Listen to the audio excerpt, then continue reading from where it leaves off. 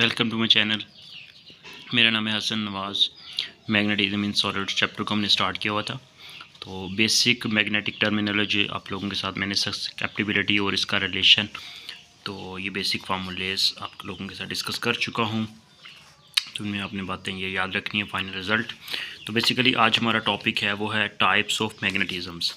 अब बेसिकली हमारा मैग्नेटिज़म बनता किस तरह है, हमारा मटेरियल मैग्नेटाइज क्यों होता है और उसके बाद फिर हम उसी बेसिस पे उसकी टाइप्स वहाँ पे देखेंगे, ठीक है? अकॉर्डिंग टू मॉडर्न थ्योरी जो है, वो हमें बताती है कि मैग्नेटिज्म इन अ सॉलिड जो होती है ना, वो किस वजह से होती है? Arises due to the orbital and spin motion of the electron as well as the spinning of the nuclei basically electrons की ऑर्बिटल मोशन होती है उसके बाद spin motion of the electron है ऑर्बिटल और स्पिन मोशन ऑफ़ इलेक्ट्रॉन की वजह से और जो न्यूक्लियस के अंदर जो न्यूक्लाई होते हैं, उनकी मोशन की वजह से बेसिकली हमारे पास जो हमारा मटेरियल जो होता है, वो मैग्नेटाइज्ड होता है। ये हमें मॉडर्न थ्योरी में बताती है। ठीक है? अब ये जो हमारे पास the motion of the electron equal to the electric current which produce the magnetic effect ठीक है? अब इलेक्ट्रिक करंट से मैग्नेटिक फ़ील्ड भी पैदा होता है, ये भी हमें पता है। The major contribution come from the spinning of the unpaired electrons ठीक है? वैलेंस इलेक्ट्रॉन के अनपेड होने की वजह से बेसिकली ये मेजर कंट्रीब्यूशन है हमारा जो मटेरियल होता है, जो मैग्नेटाइज होता है। ठीक है? Which produce the permanent electronic magnetic movements और परमानेंट इलेक्ट्रॉनिक मूवमेंट्स बेसिकली उसके अंदर अलाइनमेंट ऑफ़ होती है बेसिकली जिसकी वजह से हमारा मैग्नेट जो होता है वो मैग्नेटाइज होता है।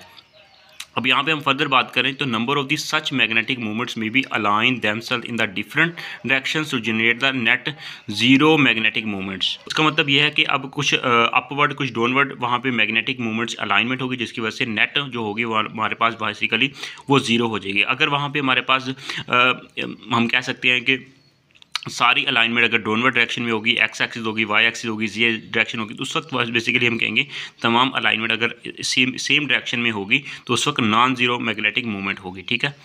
तो अगर अपोजिट डायरेक्शन में होगी तो कैंसिल हो जाएगा इफ़ेक्ट तो वो हमारे पास ज़ीरो मैग्नेटिक मूवमेंट्स बन जाएगी। This the nature of the magnetization produce depend upon the number of the unpaired valence electron किस पे डिपेंड करता है? वो डिपेंड करता है अनपेयर्ड वैलेंस इलेक्ट्रॉन के ऊपर डिपेंड करता है कि हमारा nature of the magnetization produced होगा, ठीक है? किसी भी मटीरियल के अंदर।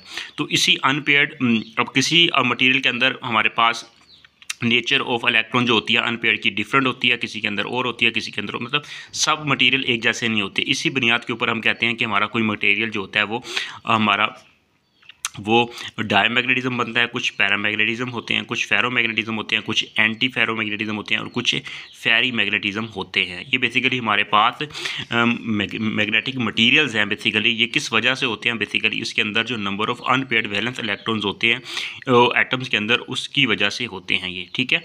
तो इसी बुनियाद पर हमने मैग्नेट को पाँच कैटेगरी में डिवाइड कर दिया। अब सबसे पहले देख लेते हैं हमारा पास डायमैग्नेटिज्म क्या होता है। It is a weak effect ठीक है?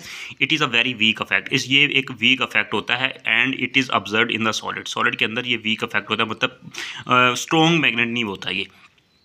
Which is which which do not contain any permanent magnetic movement इसके अंदर परमानेंट मैग्नेटिक मूवमेंट्स नहीं होती। The existence of the small non zero magnetic movements in these material is attributed to the orbital motion of the electrons ठीक है? जो small magnetic movements होती हैं, वो किस वजह से होती हैं? ऑर्बिटल मोशंस की वजह से होती हैं, जो कि स्मॉल होती हैं। तो इस वजह से हम कहते हैं कि हमारा डायमैग्नेटिज्म मटेरियल जो होता है, ये एक वीक मैग्नेट होता है, ठीक है? तो magnetic movements is always directed opposite to the applied magnetic field ठीक है? जो हम applied external magnetic field apply करेंगे किसी मटेरियल के ऊपर, और जो उसके अंदर अलाइनमेंट होगी, उसकी अपोजिट हो जाएँगे, ठीक है? जिसकी वजह से उसका अफेक्ट ज़ीरो हो जाएगा। इसलिए हम कहते हैं कि हमारे पास इसकी डायम मैग्नेटिज्म जो होता है, ये वीक मैग्नेट होता है। The other type of magnetism arises due to the presence of the permanent atomic electronic magnetic movements अब कुछ permanent electronic movements atomic electronic movements होती हैं, उसकी वजह से हमारा मटेरियल जो होता है, वो बनता है हमारा पैरा पैरामैग्नेटिक मटीरियल नेक्स्ट तो यहाँ पे देखिए हमारे पास paramagnetism is also a weak effect but unlike diamagnetism अब डायमैग्नेटिज्म जैसा नहीं होता हमारा पैरामैग्नेटिज्म, क्योंकि पैरामैग्नेटिज्म जो होता है, वो ये बेसिकली इसका एक मैग्नेटिक अफेक्ट होता है, ठीक है? और डायमैग्नेटिज्म का अफेक्ट कैंसिल हो जाता है, इसलिए हम कहते हैं कि ये एक वेरी वीक मैग्नेटिज्म होता है।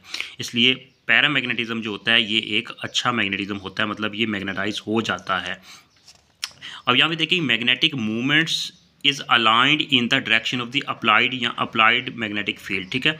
अब जो फ़ील्ड अप्लाइड करते हैं बेसिकली उस फ़ील्ड की डायरेक्शन में मैग्नेटिक मूवमेंट्स जो होती हैं, जो बाइस बनती हैं अनपेयर्ड इलेक्ट्रॉन की वजह से बेसिकली उसकी वजह से बेसिकली हमारा मटीरियल मैग्नेटाइज या डी मैग्नेटाइज होता है, हम कहते हैं कि वो बेसिकली जो मैग्नेटिक मूवमेंट्स होती हैं, वो अप्लाइड मैग्नेटिक फ़ील्ड की डायरेक्शन में अलाइनमेंट हो जाती है, जिसकी वजह से हमारा पैरा मैग्नेटिक पैरा मैग्नेटिज्म बनता है।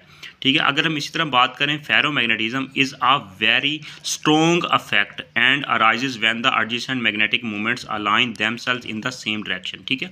इसमें भी मैग्नेटिक मूवमेंट जो होती हैं, वो सेम डायरेक्शन में अच्छी तरह अलाइनमेंट हो जाती हैं, खुद ब खुद, जिसकी वजह से हम कहते हैं कि वो हमारा फेरोमैग्नेटिज्म बन जाता है हमारा मटीरियल ठीक है? ये उससे भी पैरा से भी ज़्यादा स्ट्रॉन्ग होता है फेरोमैग्नेटिज्म अब इसकी नेक्स्ट कैटेगरी की बात करें एंटी फेरोमैग्नेटिज्म जैसा कि नाम से ही ज़्यादा एंटी के अंदर बेसिकली अपोजिट होता है, ठीक है? इक्वल एंड अपोजिट होने की वजह से इफ़ेक्ट कैंसिल होता है। The adjacent movements are equal and opposite to the each other and the hence the complete cancellation of the movements take place basically alignment जो होती है बेसिकली अलाइनमेंट को अगर यहाँ पे मैं शो करवाना चाहूँ तो ये एक मैग्नेटिक मूवमेंट्स डाउनवर्ड डायरेक्शन में है, ये अपवर्ड डायरेक्शन में। इस तरह अलाइनमेंट जो होती हैं, ठीक है, जिसे हम डोमेन डोमेन के अंदर बेसिकली बात करते हैं तो उसका इफ़ेक्ट कैंसिल हो जाता है, जिसकी वजह से हम कहते हैं कि एंटी फेरोमैग्नेटिज्म बनता है हमारा मटीरियल अब फेरी मैग्नेटिज्म लास्ट कैटेगरी क्या है, इसमें बात करें तो it is a similar to the antiferromagnetism ये एंटी फेरोमैग्नेटिज्म की तरह ही है बेसिकली लेकिन इसके अंदर डिफरेंस क्या है कि इसके अंदर अलाइनमेंट अगर हम कहते हैं कि ये बेसिकली हमारे पास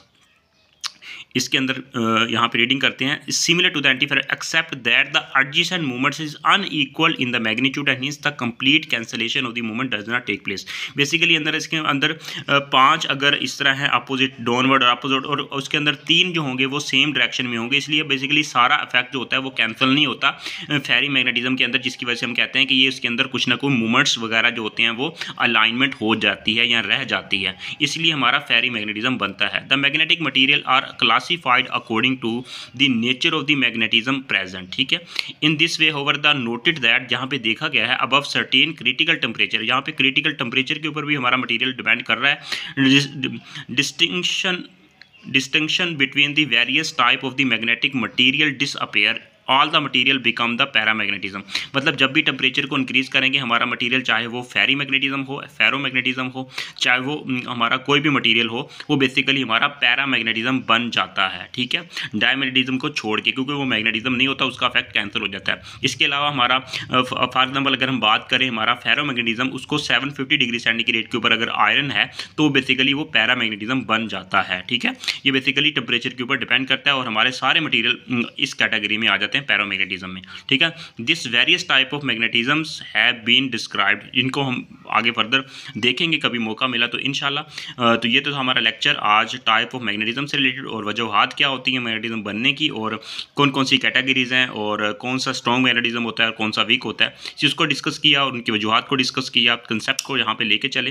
तो फर्दर हम चीज़ों को कैटेगरीज करेंगे फर्दर स्टेप बाय स्टेप लेके चलेंगे। ऑल दी बेस्ट तो ये मैंने बुक आपको पहले भी बताया था रिकमेंड की थी सोलर स्टेट फिजिक्स ये आर के पूरी की इंडियन बुक है, बहुत अच्छी बुक है, इसको मैंने खुद भी फॉलो किया था।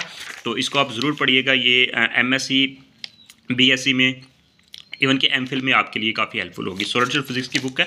All the best take care अल्लाह हाफिज़ चैनल पर नहीं तो चैनल को सब्सक्राइब कर लें।